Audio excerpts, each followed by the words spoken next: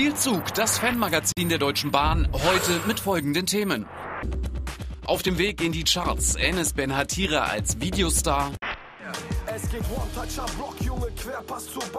Er ist ein Star bei Hertha BSC und neuerdings auch bei YouTube. Enes Ben Hatira fast millionenfach geklickt und das in gerade mal einer Woche.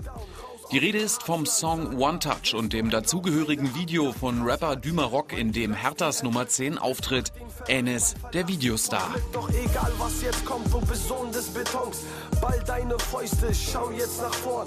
Gerade von unserer alten Clique, sage ich mal, hat sich der eine oder andere beschwert, warum er nicht dabei ist, aber ja, hab viel, hab viel Anrufe, Nachrichten bekommen. Ähm, ist sehr, sehr, sehr positiv rübergekommen. Halt drauf und fang an, deine Träume zu wusste auch nicht, dass jetzt mein Auto da jetzt äh, ähm, äh, ins Video da jetzt ähm, ja, Premiere feiern darf auch. Und äh, ja, ich habe den einen Anspruch habe ich schon abbekommen, aber ich teile auch gut aus, aber kann auch ein bisschen einstecken. Du musst nicht verzweifeln, Mann.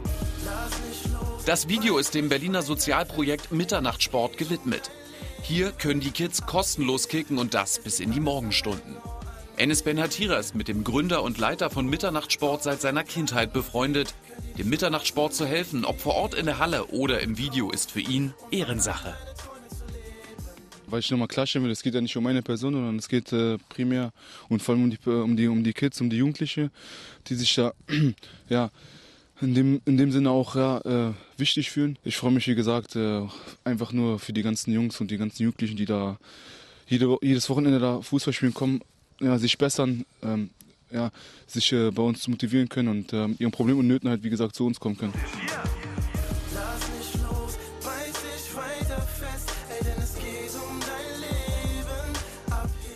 Das Video läuft auf Hochtouren Ennis noch nicht ganz. Monatelang plagten ihn hartnäckige Probleme am Knöchel. Zuletzt gegen Lautern fehlte er wegen einer Erkältung. Kurzum, Ennis brennt, will endlich wieder richtig ran. Jetzt bei den Läufen merke ich, wie gesagt, wie ich da wieder auch bei 100 Prozent bin. Die Läufe tun mir auch richtig gut. Ich komme da ohne Probleme an meinen Puls ran und ich kann jetzt kaum erwarten, wie eigentlich äh, loszulegen und auf dem Platz Gas zu geben. Ja. Man erlebt sowas oft, wenn man betet zu Gott. Wie Ennis Benatira, Hertha Berliner, vom Brennpunkt des Ghettos in die erste Liga. Erste Liga mit Hertha und Ben Hatira. Dieses Ziel ist nicht mehr weit. Für den Aufstieg drücken auch die Kids vom Mitternachtssport die Daumen. Barfuß, Dramas, die keiner von uns wollte, Mann.